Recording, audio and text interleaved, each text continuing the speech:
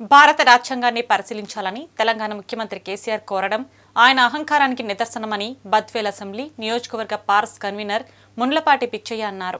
కడప జిల్లా బద్వేల్ పట్టణంలో నిర్వహించిన సమావేశంలో ఆయన మాట్లాడుతూ ప్రపంచ దేశాలు సైతం రాజ్యాంగం ప్రకారం నడుచుకుంటే తెలంగాణ ముఖ్యమంత్రి రాజ్యాంగాన్ని సవరించాలని కోరడం సరైన పద్ధతి కాదని అన్నారు.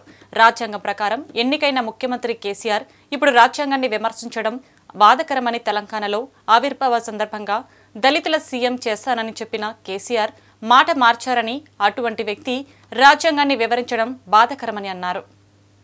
భారత రాజ్యాంగ నిర్మాత డాక్టర్ బిఆర్ అంబేద్కర్ గారు రూపొందించిన రాజ్యాంగం అన్ని వర్గాలకు అన్ని మతాలకు ఉపయోగపడుతుంటే ఈరోజు తెలంగాణ ముఖ్యమంత్రి కేసీఆర్ గారు రాజ్యాంగాన్ని పునఃపరిశీలించాలని చెప్పడం చాలా దుర్గౌర దుర్మార్గమైన చర్య.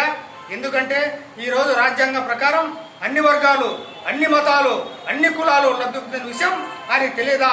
ఎందుకంటే ఈరోజు తెలంగాణ ముఖ్యమంత్రి కేసీఆర్ గారు తెలంగాణ ఉద్యమంలో నేను తెలంగాణ రాష్ట్రం సాధిస్తే దళితుని సీఎం చేస్తానన్న కేసీఆర్ గారు ఈరోజు మాట తప్పి అగ్రకులస్తుడైన కేసీఆర్ గారే ముఖ్యమంత్రి స్థానం పొందిన విషయం ఆయనకు తెలియదా? ఎందుకంటే రాజ్యాంగ ప్రకారం ఆయన సీఎం కాలేదా? కాబట్టి కేసీఆర్ గారు ముఖ్యంగా రాజ్యాంగాన్ని అపహాస్యం చేసి ఖబర్దార్ కేసీఆర్. ఎందుకంటే ఆంధ్ర రాష్ట్రంలో ఎక్కడొచ్చినా కానీ నిన్ను చుట్టుముట్టి భారత రాజ్యాంగం యొక్క విలువలు తెలుసుకోమని చెప్పేసి మీకు హెచ్చరిక చేస్తున్నాం. జై ఈనాటి బద్వేల్ పట్టణంలోనే మరి దళిత సంఘాల ఆధ్వర్యంలో విలేకరుల సమావేశంలో మరి ఈ సమావేశమై మరి తెలంగాణలో కేసీఆర్ ముఖ్యమంత్రి గారు బాబాసాహెబ్ అంబేద్కర్ రాసిన రాజ్యాంగాన్ని తప్పుపట్టడం ధ్యేయమైన చర్య. మరి ఆయన ఇట్లాంటి తెలుసుకోవాలా? ఒక ముఖ్యమంత్రిగా ఉండి మరి ఆయన కించిపరిచి ఆయన రాసిన రాజ్యాంగాన్ని కించిపరచడం ఆయన ముఖ్యమంత్రికి అర్హుడు గారు మరి ముఖ్యమంత్రి గారు మీరు మరి నేను ముఖ్యమంత్రి అయితే మరి అక్కడ తెలంగాణలో దళితులు ముఖ్యమంత్రి చేస్తానన్నావు.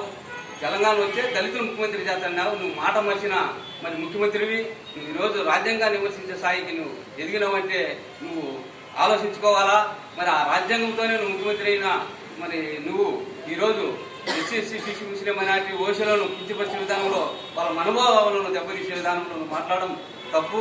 అది నీ పైన చాలా దుర్మార్గమైన చర్య.